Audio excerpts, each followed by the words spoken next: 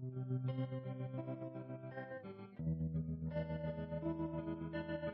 Всех приветствую. Продолжаем рассматривать работы художников, знакомиться с их автобиографией. Мигель Наварро Каньисарес. Испанский художник и преподаватель рисования, работавший в Венесуэле и Бразилии. Родился в Валенсии в 1835 году в семье изготовителей корзин. Учился в Академии изящных искусств. Позже переехал в Мадрид, где посещал занятия в Академии Сан-Фернандо и нашел работу в мастерской Федерико де Мадрасо. В 1861 году участвовал в конкурсе на замещение преподавательской студенческой вакансии в высшей школе пинтуры, но не добился успеха. В течение нескольких лет участвовал в национальной выставке изобразительных искусств, где его картина, изображающая святую Екатерину, которую несут ангелы, получила золотую медаль. В 1864 году выиграл грант на обучение в Риме за свою версию воспитания дочери Иаира. Позже, в 1871 архиепископ Каракаса Сильвестре Гевара и Лира, присутствующий на Первом Ватиканском соборе, увидел некоторые из картин Навара и пригласил пригласил его выполнить росписи в Каракасском соборе, проект которого не был реализован. В 1976-м архиепископ Гевара был отстранен от должности и отправился в изгнание. Лишенный покровительства Навара оставил преподавательскую должность в Академии изящных искусств и уехал в Рио-де-Жанейро со своей женой и детьми. Вскоре он нашел место преподавателя в Эсколе искусств и полиции Баи. Но год спустя был уволен из-за серьезных разногласий с директором школы. В результате Навара Мара и несколько друзей решили создать отдельную Академию искусств. При поддержке барона